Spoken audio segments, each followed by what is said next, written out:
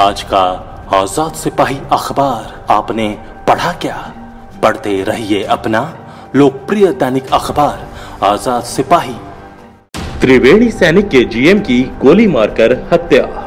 त्रिवेणी सैनिक कंपनी के जीएम गोपाल सिंह को ऑटो पर सवार अज्ञात अपराधियों ने बुधवार की रात करीब नौ बजकर पंद्रह मिनट पर शहर के जुलू पार्क में गोली मारकर हत्या कर दी है।